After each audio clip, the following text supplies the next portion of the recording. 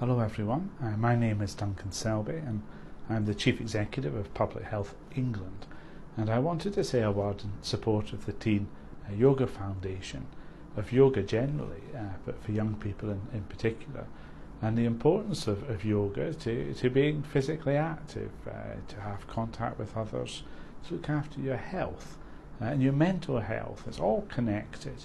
And, and yoga is a wonderful way of, of achieving a whole series of benefits. Uh, so I'm very supportive of this and, and very glad that you're taking an interest. Uh, it's, it's a very uh, positive thing to be doing.